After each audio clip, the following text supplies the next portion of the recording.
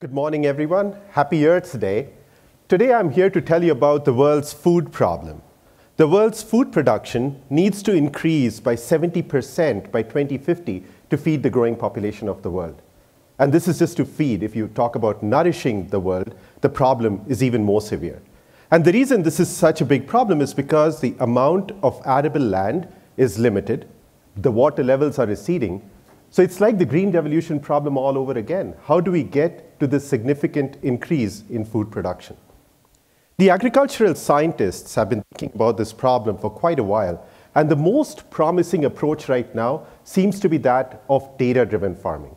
What we mean by data-driven farming is the ability to map every farm in the world and overlay it with lots and lots of data. For example, what is my soil moisture level six inches below the soil throughout the farm? What is my soil nutrient level throughout the farm? If you could build maps like this, this could enable techniques like precision agriculture. What we mean by precision agriculture is the ability to do site-specific applications. For example, right now, farmers, they'll apply water uniformly throughout the farm. They'll apply pesticide uniformly throughout the farm. With precision agriculture, you could apply it only where it is needed. Precision agriculture as a technique has been shown to improve yield, reduce cost because farmers would use less water, less pesticide. It's also better for the environment because you're not putting in more pesticide than needed. You're not putting in more nitrogen. You're not wasting water. The other technique that such maps could enable is called phenotyping. Just like you could do genotyping, you could do phenotyping as well. That is, if you could understand why did the same seed variety grow differently in different parts of the farm, for example, in the red or blue parts of the farm, you could then create new genotypes. This map that you're seeing here is one such map that we want to create for all farms in the world. So in the rest of this talk, I'll talk about precision agriculture, but you can see how the same techniques apply for phenotyping as well. So precision agriculture as a technique, given that the benefits are known, was first proposed back in the 80s. It's been 30 years since then, and the technology hasn't taken off. The biggest reason this technology hasn't taken off is because of the cost of existing data-driven agriculture solutions. Just to give you an idea of how expensive it is, I was at an expo at a university where there were several companies talking about the latest precision ag equipment, the latest sensor equipment. The cheapest sensors that were available there were five sensors for $8,000 and a recurring cost. For a farmer, to, to afford that kind of equipment is expecting too much, especially when they don't know what is the ROI, what is my return of investment, if I buy these sensors, which are so expensive. That is the goal of the FarmBeats project that I'm leading at Microsoft. Our goal is to bring down the cost of these data-driven agriculture solutions by two orders of magnitude. We want to bring it down from 8,000 to 80. And I'll talk about a few techniques that we think we can get, that, that I think we can uh, help us get, us get there. Before I go there, I wanted to let you know that I don't have a farming background. My background is a PhD in computer science. But the first 18 years growing up, I grew up in India, and as it happens in India, people from India can relate to it. We used to spend, we are three brothers and a sister, and we used to spend time with our grandparents in northern part of India, in a small village in Bihar. And we used to go there, spend time in farms. By the way, I did not like farming back then. Those were the worst four months of my life every year. but the reason, but one, the, reason was that there was no electricity, no toilets. It was like, going from a city to spend four months in a village wasn't exciting. But in a way that kind of exposed me to the problems of agriculture. And that's one of the goals of the FarmBeats project as well. We want to take the technologies that we are building to the smallholder farmers everywhere in the world. So I'll start by talking about the US, but you can see how this relates to other parts of the world as well. So going back, the goal of the FarmBeats project is to bring down the cost of data-driven agriculture solutions significantly from where they are. And I'll talk about three challenges because of which existing solutions are expensive. The first reason existing solutions are expensive is because of internet connectivity. The farmer's house, in this case, has some sort of connectivity to the internet. They pay for broadband, they get one to three megabits a second, but the actual farm is a few miles away. The reason existing solutions are expensive is because the farms don't have connectivity. They end up using satellite or custom cellular solutions to connect these devices to the internet. So how do we bring down the cost of connectivity from the middle of the farm? To do this, we use uh, one of the prior research, I started researching on this concept in 2005 called the TV white spaces. What the TV white spaces enables is, imagine if you go buy a Wi-Fi router and plug it in your house. Imagine if you could access it a few miles away. That would be cool, right? As soon as you exit your house, the Wi-Fi connection just disappears. The way we do that is we took a Wi-Fi signal and put it in empty TV channels. This is over-the-air TV. So, you know, when you're uh, browsing through over-the-air TV on certain channels, you see some reception. Other channels, all you see is white noise. There's nothing coming there. With this technology, we were able to fit a Wi-Fi signal in those empty TV channels, the noisy TV channels, in a way that did not interfere with the reception in an adjacent channel. So you could be watching channel 7 at home. On channel 8, we could be sending Wi-Fi signals. And the reason this is so cool is that compared to Wi-Fi at the same power level, in UHF TV frequencies, your signals go four times farther. In VHF, they go 12 times farther. And this is just based on pure physics. Once you put trees, crops, canopies, and so on, your signals just keep going through. In our latest experiments, we put these sensors in soil, a, a, a meter under soil, and a signal just keeps going through. So this was a technology we had built back in uh, 2009, 2010 is when the FCC chairman had come to visit Microsoft to see the demo we had put together. This was made legal in the US in 2010. Since then, we have been deploying this technology in several parts of the world, connecting rural hospitals, schools, libraries to the internet using this technology. Just to uh, recap, this is what the TV white spaces is in Seattle. Each of these holes there, these gaps, are what is the empty TV spectrum. And I already told you how it is better than Wi-Fi or any other technology that exists. In the context of agriculture, our key insight was that TV towers are where people are. Right? In Rochester, you'll have TV towers. In New York City, you'll have TV towers. The farms are away from the cities. There are fewer people. So if you go to a farm and turn on an over-the-air TV, you'll find very few channels. Most of the channels are just white noise. The more such empty channels you have, the more capacity you have. So if you go to a farm, you have a lot of unused spectrum. We are talking of hundreds of megabits per second of unused capacity. At which point, we are not only talking of connecting sensors, you could be connecting cameras, drones, tractors. You could be getting a lot of information that you previously couldn't get. If you talk to any agricultural scientist, the number one problem they'll talk about is data. How do you get data from the middle of the farm? With the TV white spaces, we believe we can solve that problem. Our vision here is just like Wi-Fi connects your house, this TV white spaces could be used to connect your entire farm. In fact, this is what we are doing right now in our deployments. We put this antenna in, and miles around it now gets connected. You're able to get data that you previously just couldn't gather. So this was challenge number one. The second challenge, as I mentioned, what we want to get to are these kind of maps. What is the soil moisture level six inches below the soil throughout the farm? How do we get there?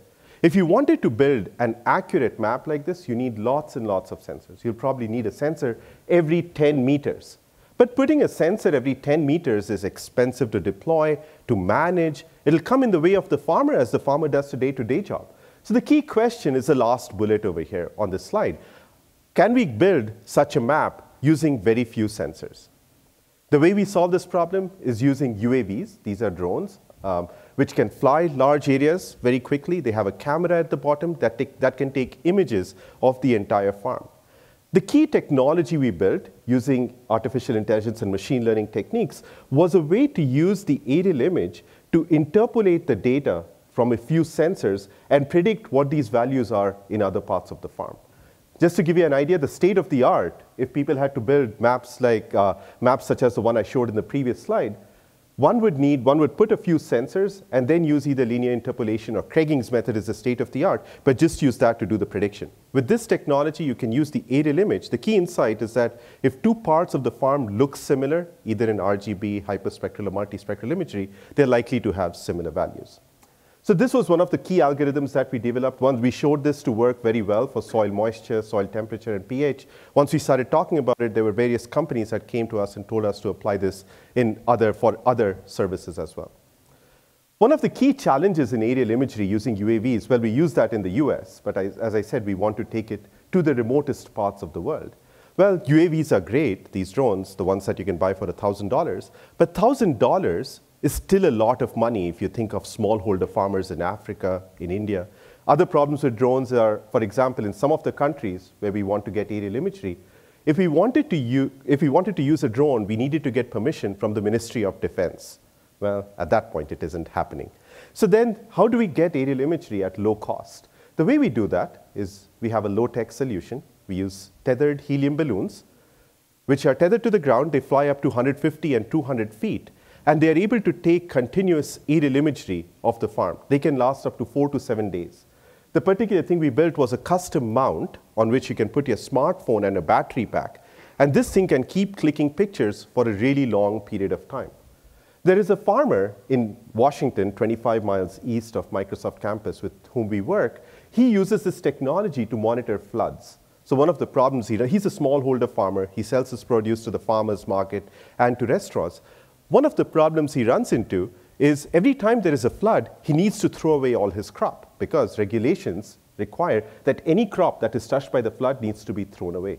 Right now, that's what he does. Every morning when he comes, he sees there was a flood, he throws away all his crop. With this technology, he can monitor. He knows which crops are actually touched by the flood and only throws away those crops.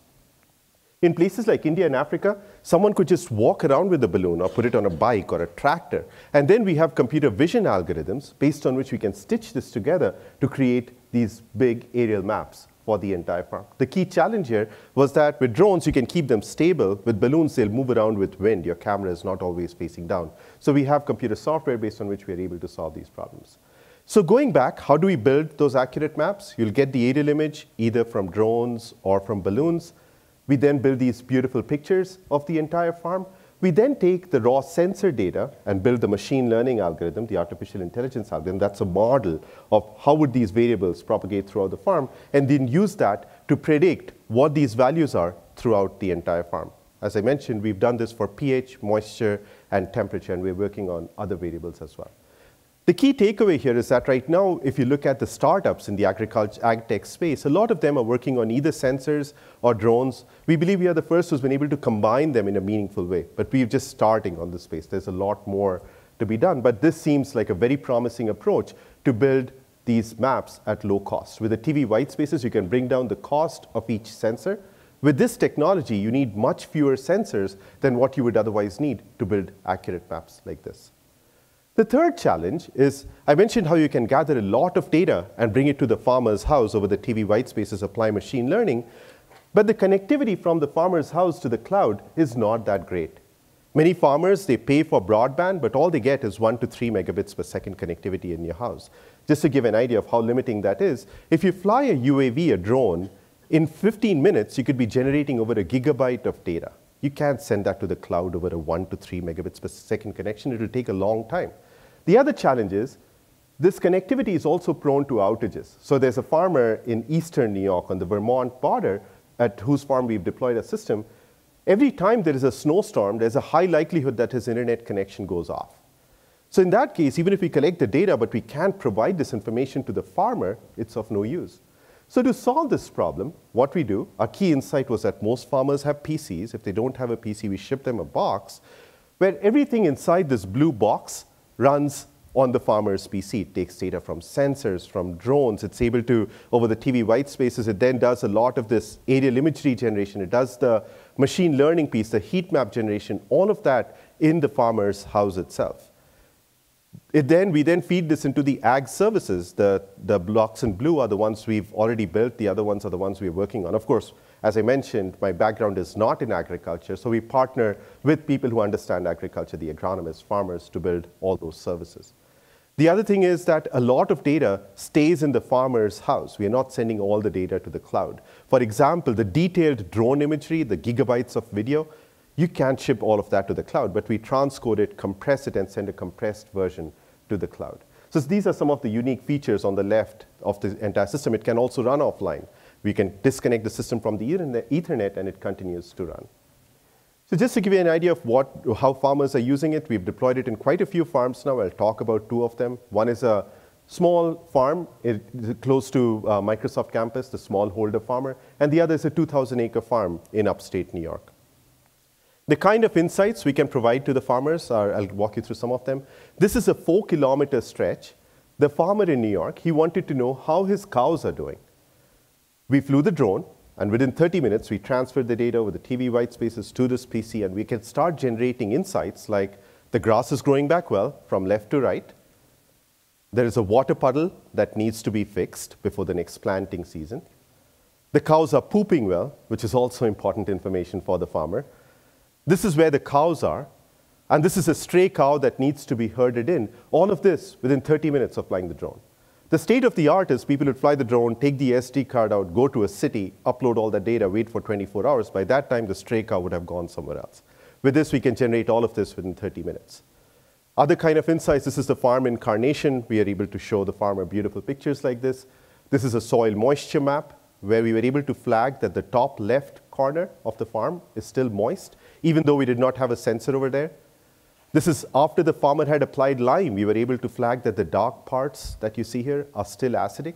The key question you would ask is how accurate is this? So we went to three farms, three different five acre plots, and we captured a thousand measurements, and we asked the question that if we pick just 10 of these, how accurately can we predict the 990 other values using the FarmBeats technique of using aerial imagery with ground sensor data? So these are the results for temperature, pH, and moisture. This is how accurate FarmBeats is, and this is how accurate the actual sensors were. That is, the sensors, for example, we use for soil temperature would report temperature in one degree Fahrenheit, and so on. So the key takeaway here is not that we are more or less accurate than the actual sensors themselves, but that our, our predictions are so close to the actual measurements that they are actually actionable by the farmer. Then again, another scenario was we had cameras in barns streaming data over the TV white spaces where we were able to flag cows, where the cows are moving around well, whether some cow is sick, all of this because we are doing the TV white spaces and we have a PC where we are running all the, all the analysis in the farm itself. So to conclude, that's what FarmBeats is. I wanted to make you aware of the food problem and some of the steps that we are taking, even not being in the agriculture space, of how we can help solve some of the food problem. With the TV white spaces, we are able to gather a lot of data that didn't exist. And applying the latest advances in artificial intelligence and machine learning, we can bring actionable insights to the farmers. So these are the two farmers we work very closely with, the three farmers, Sean, Mark, and Kristen. They are just amazing people. So with that, I wanted to end the talk. Thank you.